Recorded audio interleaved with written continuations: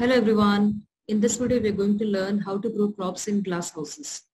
Now we are aware that whenever we grow any crop plant in an open field, there are certain environmental conditions which affect the rate of photosynthesis in these crop plants. But the another fact is that these environmental conditions cannot be controlled by human beings. Okay, and these conditions are like uh, the amount of light available to the plant for the process of photosynthesis availability of raw materials that is carbon dioxide and water okay and then the temperature of the surrounding of the plant. Now what happens is these environmental factors they sometimes increase and sometimes they decrease okay based on the climatic conditions okay. So the increase in these environmental factors or decrease in these environmental factors affects the rate of photosynthesis in these uh, crop plants okay? So what happens in glass houses is all these environmental conditions or all these uh, conditions which is necessary for the growth of uh, plant or which is necessary to maintain or to regulate the rate of photosynthesis in plant all these conditions are controlled in the glass houses whenever crops are grown in glass houses. Okay? So how these factors are controlled we'll see uh, one of the most important factor which affects the rate of photosynthesis is temperature. So glass houses, uh, especially in, uh, you know, uh, temperate countries, uh, in temperate regions. Temperate means countries which have very low temperature. Okay, there more throughout the year, uh, cold climates are there. Okay, so some crops like tomatoes, they cannot be grown there uh, in the normal environmental conditions. So what happens is their tomatoes are generally grown in glass houses. Okay. And in order to grow those tomatoes, artificial heating has been uh, done in the glass house. Now this slight increase in the temperature uh, increases the activity of enzymes in the tomato plant cells. Okay. So what happens is uh, due to artificial heating, the slight increase in the temperature increases the activity of the enzymes in uh, tomato plants. Okay, hence these crops can be easily grown because enzymes can work faster. So as enzymes are working at faster rate, the rate of photosynthesis is also increasing.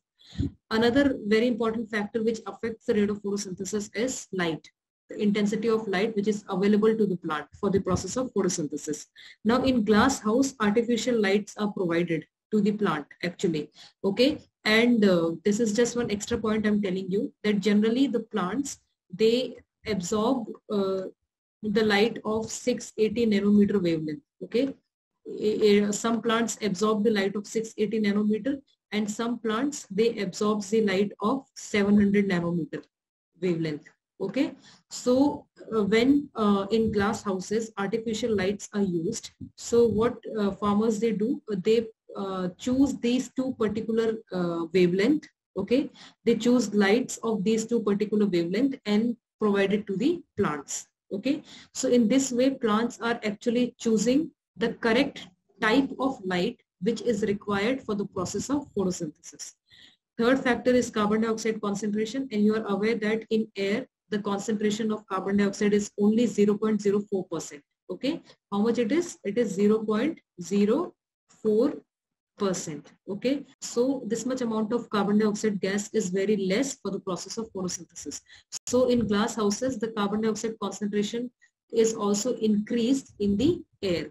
And increase in the increase in the carbon dioxide concentration actually increases the rate of photosynthesis. Because carbon dioxide uh, concentration is actually a limiting factor. Most of the time it becomes a limiting factor and hence it restricts the process of photosynthesis but in glass houses, what happens? Carbon dioxide uh, concentration is generally increased in the air manually. So that plants can photosynthesize quickly or at faster rate. And regular watering of plants is done in glass houses okay? So increasing the carbon dioxide concentration and regular watering uh, of plants helps in uh, providing plants with two very important raw materials for the process of photosynthesis and they are carbon dioxide gas and water here is a picture which shows tomato plants grown in glass houses in temperate countries like UK. You can make out that uh, the temperature outside this glass house is very cold. Okay. So inside this glass house, the temperature is maintained by providing artificial uh, heat. to the glass house okay and this slight increase in uh, temperature actually increases the enzyme activity in this tomato plant fine so this was about temperate countries okay? There are there's another region on the earth which is like you know uh, which is called tropical region. So tropical region is actually present nearby equator which receives maximum amount of sunlight falling on the uh, earth okay? So here generally the temperature is very high especially during the daytime. So even if temperature goes beyond the optimum temperature we have studied in previous video that even if temperature goes beyond optimum temperature the rate of photosynthesis decreases okay rate of photosynthesis will decrease beyond optimum temperature why because uh, um, beyond optimum temperature, enzymes they get denatured. Okay, the shape of active site of enzyme changes, hence substrate molecule won't be able to fit into the enzyme. So uh, in temperate condition uh, countries, these uh, this temperature maintenance is very important in glass house. So what is done there is generally uh, the top of the glass house is actually having a small window okay for example if this is a glass house so the top of the glass house will actually have a small window, which is uh, which is like you know left open little bit so that hot air, any hot air which is like you know uh, uh, which is present inside the glass house can easily escape because you are aware that hot air being lighter in weight always moves up into the atmosphere. So any hot air or any hot gas which is present inside the glass house can easily escape this glass house through this uh, roof or through this window okay apart from this what can be done is uh, any short plants okay any short plants or short crops which are grown in the uh, glass house are always like you know grown next to the tall plants.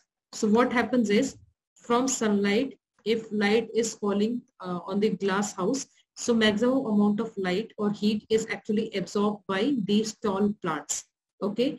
And and partial amount of heat or partial amount of light is given to these short plants okay? So this is how these uh, shorter plants are actually uh, saved or are actually you know uh, protected from bright sunlight or from high temperature. So i hope this topic is clear to you guys. In next video we will understand the effect of light on gas exchange in plants. Take care till then. Bye bye